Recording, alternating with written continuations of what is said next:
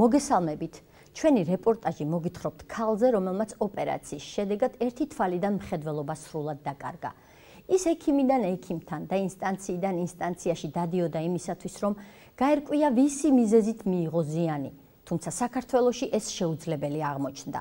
ექიმებს შორის პროფესიული солиდარობა აქ ბევრად მეტი ღირებულებაა, ვიდრე პაციენტის ჯანმრთელობა და მისი უფლება რომ იცოდეს სიმართლე.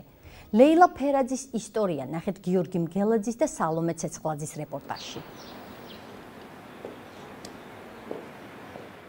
ლეილა ფერაძე პენსიონერია, ოჯახთან ერთად თბილისში ცხოვრობს. უკვე 2 წელია ვეღარ მუშაობს, რადგან ოპერაციის შემდეგ ერთ თვალში მხედველობა დაკარგა. დღეს მესამე ჯგუფის ინვალიდია და იძულებული გახდა სამსახურისთვის თავი დაენებებინა. ვეღარ მუშაობ, იმიტომ რომ ქუჩაში რო გავდივარ, ორიენტირებას ვკარგავ და აც მიშვებენ გარეთ რა.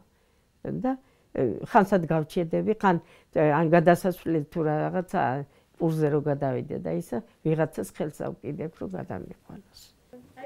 ოპერაციის გაკეთება მას შემდეგ გადაწყვიტა რაც მხედველობა დაუქვეითდა. სახელმწიფო დაზღვევის პროგრამით ოპერაცია მერაბდვალის კლინიკა ახალ მზერაში 2014 წელს გაიკეთა. კატარაქტა არისო და გასაკეთებელია ოპერაცია. კატარაქტის ოპერაცია დაზიანებული ბროლის მოცილებას და მისი ხელოვნური ბროლის შეცვლას გულისხმობს. ეგრეთ წოდებული უნაკერო ოპერაცია 15-20 წუთი გრძელდება. სპეციალური მოწყობილობი თვალში შედიან. ძველ ბროლს შლიან და გარეთ გამოაქვთ. მის ნაცვლად კი ახალ მოკეცილ ბროლს სვამენ. ბროლი ჩასმის შემდეგ იშლება და თავისი ფუნქციის შესრულებას იწყებს. ოპერაცია კლინიკის ხელმძღვანელმა მერაბ დვალმა და მთავარმა ექიმმა იო ვარდანაშვილმა ჩაატარეს. ოპერაციიდან ერთ თვეში ფერაძე თვალმა შეაწუხა. იმ შუქსაც უკვე ვეღარ ავხედავდი, იმ ხელების მოძრაობასაც ვეღარ ავხედავდი და ასე გადავარდი. მაშინ სასოწარკვეთილებაში ჩავარდი, რომ კარგავდი თვალს. ოპერაციიდან თითქმის ერთ თვეში კლინიკაში მისულს უთხრეს, რომ ამჯერად რქოვანის პერფორაცია იგივე გახრეტა მოხდა და სასწრაფო ოპერაცია სჭირდებოდა. რქოვანა თვალის გამჭვირვალე ნაწილია და თვალს ოპტიკურ სიძლიერეს ძენს. გაკეთა სასწრაფო ოპერაცია, მან გადანერგვა და ისო და ის. პაციენტს მდგომარეობა მალე ისევ გაურთულდა. აღმოჩნდა, რომ იგივე ოპერაცია კვლავ ჭირდებოდა. გაუკეთეს ეს ოპერაცია, არ შეეხამო ორგანიზმს და კიდე გაიხრიტა თვალი. ორი უშედეგო ოპერაციის დეტალებს დავით ფერაძე გვიყვება. ის დედას ყველგან დაყვებოდა და ფიქრობს, რომ დედამისის თვალი კლინიკა ახალი მზერის ექიმების არაკომპეტენტურობას შეეწირა. ამბობს, რომ სიფრთხილეს იჩენდა და ექიმებთან საუბარს ფარულად იწერდა. ეს არის ჩემი ისტორია. მე არაფერი ფარული, არაფერი არ გამიკეთებია. არავის ბოდიშა საძინებელში არ შემძროლ ვარ და იქ არაფერი არ გადამიღია.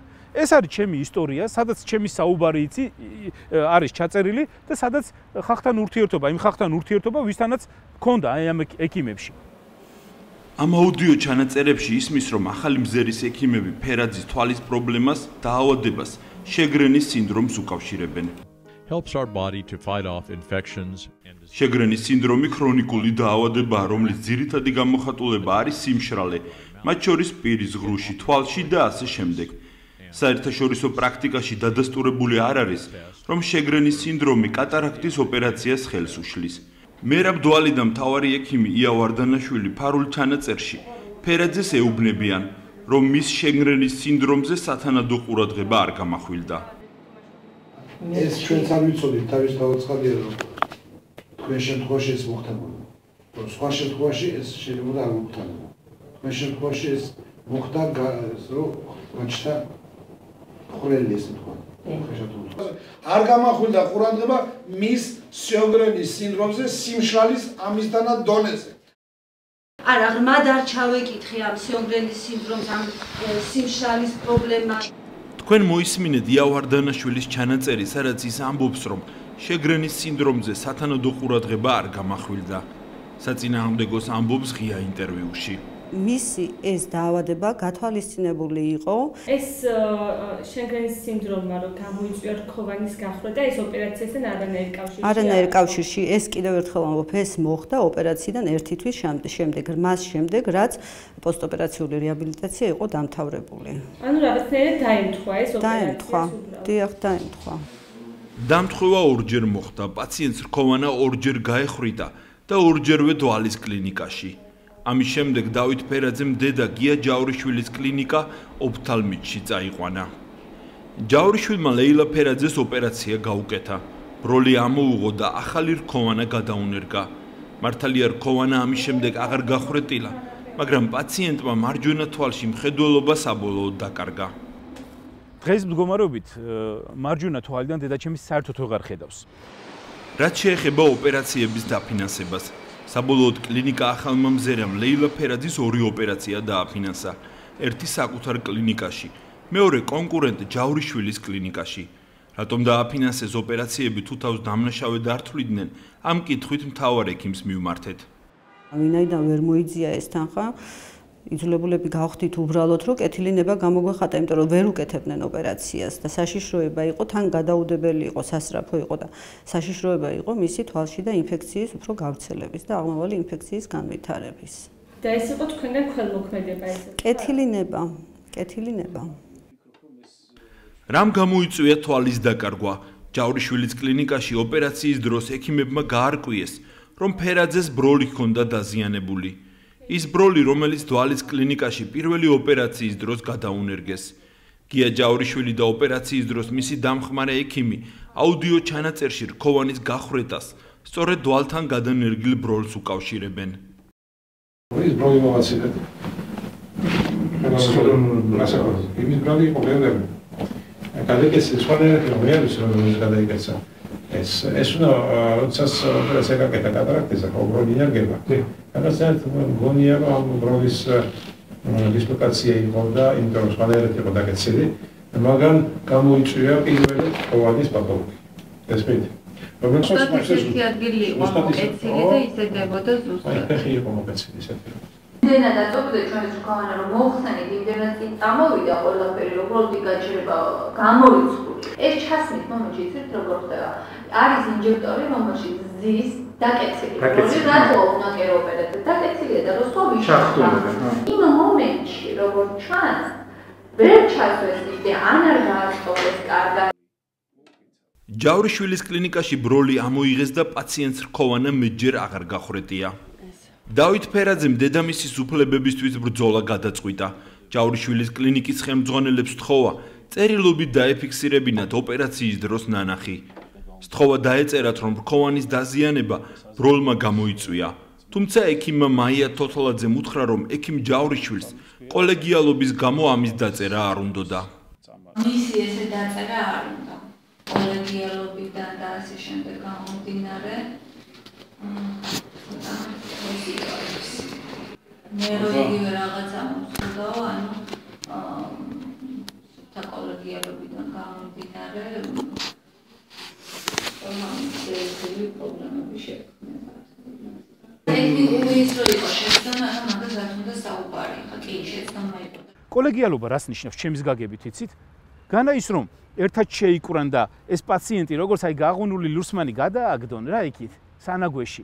ეგ არ არის კოლეგიალობა ისა რომ თუნდაც ჩვენ კონკურენტს დაუძახებ და ეთყვი რომ მოდი ეს პრობლემა რაღაცნაირად მოვაგვაროთ. ამ ადამიანს კიდე მეტი არ ვატკინოთ და არ დავაზიანოთ. და ფული არ ვახტევინოთ კიდე.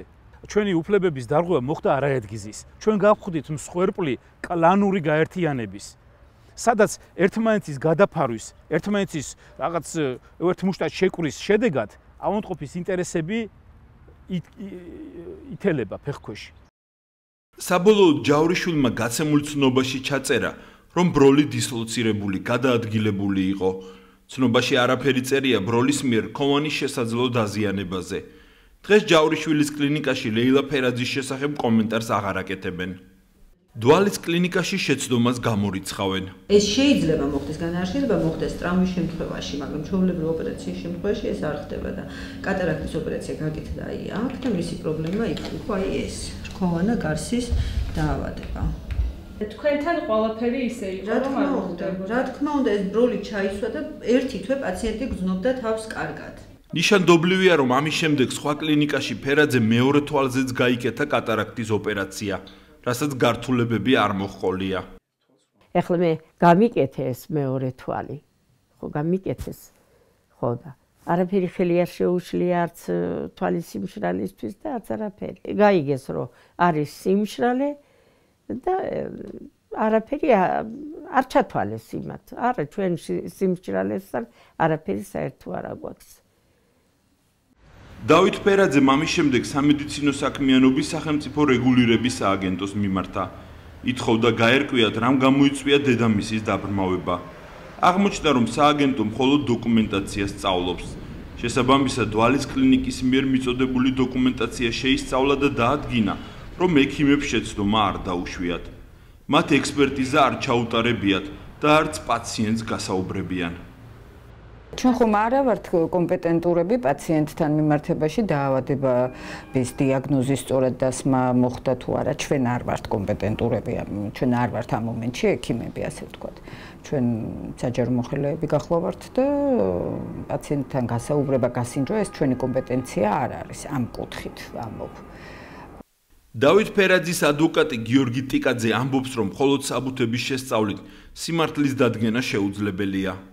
ყველაზე ცოტა მათ ალბათ ალბათ კი არა და დარწმუნებით შემიძლია თქვა აუცილებლად უნდა მიეცათ საშუალება რომ დამატებითი პოზიციები წარმოედგინა ხარეს რომელმაც საჩივარი შეიტანა და დაეზუსტებინა და დაეკონკრეტებინა ის ფაქტები თუ რაზეც ის ფაქტები რაც მას ჰქონდა კონკრეტული პრეტენზიები რაც შეეხება ექიმების შეცდომებს საქართველოში უმეტეს შემთხვევაში სააგენტო მათ წერილობით აფრთხილებს მაგალითად 2015 წელს სულ 191 საჩივარი შევიდა.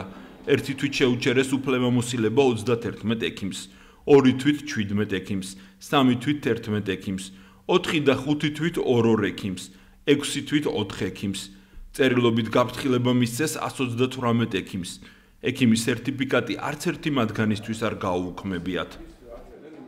სპეციალისტები ამბობენ, რომ საქართველოში არსებული სისტემა ეფექტური არ არის. არ ხდება სამედიცინო შეცდომების აღწერა და ანალიზი, რაც უცხოეთში კარგადაა დანერგილი. განვითარებულ ქვეყნებში ცდილობენ რაც შეიძლება მეტი შეცდომა აღმოაჩინონ, შეცდომების მიზეზები აღწერონ, რათა მომავალში ექიმებმა ნაკლები შეცდომა დაუშვან. საქართველოში შეცდომებს ექიმები ჩქმალავენ, მიზეზებს არავინ იკვლევს. სახელმწიფო კი დასჯაზეა ორიენტირებული. ყველა ქვეყანა ზრუნავს ამაზე საქართველოს გარდა. ანუ მე არ მეგულება არც ერთი ცივილიზებული ქვეყანა, სადაც არ იყოს სპეციალურად შექმნილი სისტემები, რომლებიც ანალიზს უკეთებენ აა ქვეყანაში არსებულ დაშვებულ სამედიცინო შეცდომებს და შემდეგ ამის პრევენციისთვის იბრძოდნენ. იკრიბება მე ეს სრულად ანონიმურად ხარისხდება და ყველაზე მეტი შეცდომები რაც არის იმ შეცდომების აღმოფხვრში ინიშნება წრთნები. საქართველოს არ არსებობს ექიმების გადასამზადებელი ესეთი ინსტიტუტი. ქართული რეგულირების სააგენტო ექიმებთან ერთად შეცდომების პრევენციაზე არ მუშაობს. მათ კანონით მხოლოდ პაციენტების საჩივრებზე რეაგირება ევალებათ. ჩვენ ვართ მაკონტროლებელი, ახლა ჩვენ არ ვართ ჰუმანიტარული დახმარების ორგანიზაცია, ნამდვილად ჩვენ ვართ მაკონტროლებელი, ჩვენ აღმოვაჩინოთ დარღვევა და შესაბამისი ღონისძიება გავატაროთ. უფლება შელახულ პაციენტებს სიმართლის გასარკვევად ხშირად ერთადერთ გზად სასამართლო რჩებათ. გიორგი გეგელაშვილის თქმით, განვითარებულ ქვეყნებში უფრო მეტი გზა არსებობს იმისთვის, რომ დავა სასამართლომდე გადაიჭრას. უფრო მოკლე გზით ხდება დავის გადაჭრა და მინდა გითხრათ, რომ უფრო მეტად უხშირეს შემთხვევაში ეს დავა გადაიჭრება სასამართლოს გარეშე. დასავლეთში ყველა სამკურნალო დაწესებულებას აქვს სამსახური ალტერნატიული დავის გადაჭრის სამსახური. ოღონდ მოდელები არის სხვადასხვა. ლეილა ფერაძესაც ერთადერთ გზად სასამართლო დარჩა. დღეს ის სასამართლოში მატერიალური და მორალური ზიანის ანაზღაურებას ითხოვს. თუ ზოგადად რეაგირება არ მოხდა პაციენტების მიერ ესეთ ფაქტებთან დაკავშირებით, უბრალოდ ვერ განვითარდება საზოგადოება ამ მიმართულებით. ვერც კლინიკა ვერ განვითარდება, ვერც პაციენტი ვერ განვითარდება, ესე ვთქვათ, ანუ ვერ გაერკვა თავისუფლებებში. ლეილა ფერაძის ნაირი საქართველოში ბევრია. რადგანაც ქართული სამედიცინო სისტემა შეცდომების აღმოჩენაზე ორიენტირებული არაა. პაციენტებს შელახული უფლებებისთვის და ზიანის ანაზღაურებისთვის ბრძოლა იმდენად უსამართლო გარემოში უწევთ, რომ უმეტესად ბრძოლაზე უარს ამბობენ. ასეთ სიტუაციაში ვარ ახლა. შველებით არაფერი არ მეშველება, მაგრამ იქნება ჩემი თვალით ეს შემინარჩუნდეს. ძალიან განვიცდი და ფუმავე.